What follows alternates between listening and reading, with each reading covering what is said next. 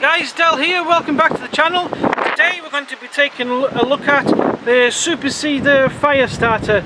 Now this I got in a deal from um, Born Survivor Supplies UK. They are on Facebook and they're on um, eBay.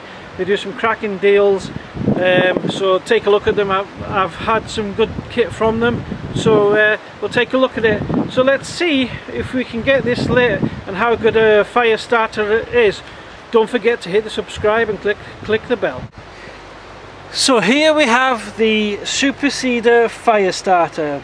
Safe for barbecues, wooden pellet stoves, campfires, fireplaces and survival kits. So let's take a look at this. Now it says directions on it. We should um, light the corner and then um, just let it burn away without disturbing it. But us being us, let's uh, cut a bit off and light it. If it doesn't light from a ferro rod which I'm surmising it won't um, we've got another little trick that we can do to get it lit. So let's get it cut up and uh, have a wee look. So we're just going to cut a wee bit off it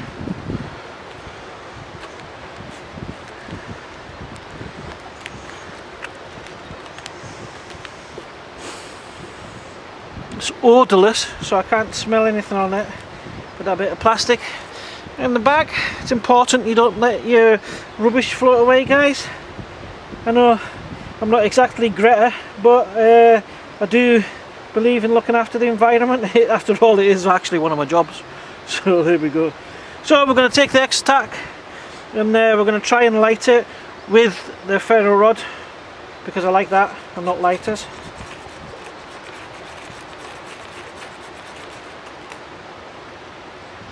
And we'll see if we can light it off a ferro rod.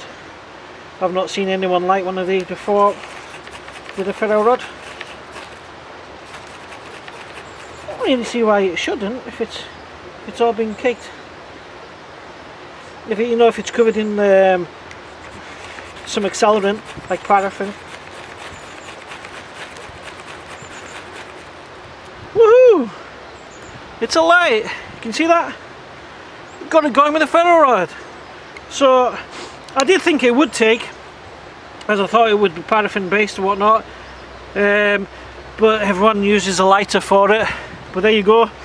We persevered on that. We got it lit with a ferro rod. That's a good burn on that. I like that a lot. Very decent burn. So there you go. That was just a quick one. Thanks for watching guys. Stay safe out there keep prepping. Don't forget to hit subscribe. Prepper Del out.